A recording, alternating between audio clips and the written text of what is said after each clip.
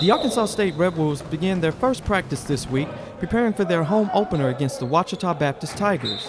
The Red Wolves have all returning players, including senior shooting guard Daniel Boone, who missed all of last season due to an injury.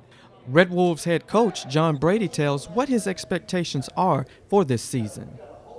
Well, I think our team should be pretty good. You know, um, we've got uh, experience back, we've got some depth, we've got some size. Uh,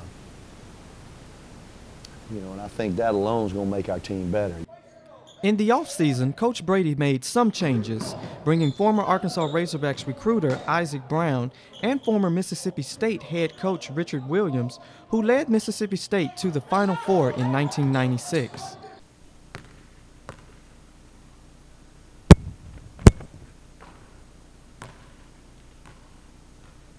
Coach Brady says with the addition of Isaac Brown and Richard Williams that they can only improve the program and make it better. Uh, one thing I look forward to is um, helping my team out a whole lot, um, both offense and defensively. Um, my legs, they, they back under me like they were before. Uh, I'm still getting stronger though with my left leg or whatever, but I look forward to um, helping out a whole lot the best way I can. The Red Wolves will have their season opener against the Ouachita Baptist Tigers November 4th at 7.05 p.m. at the Convocation Center. Eric Hicks, ASU TV.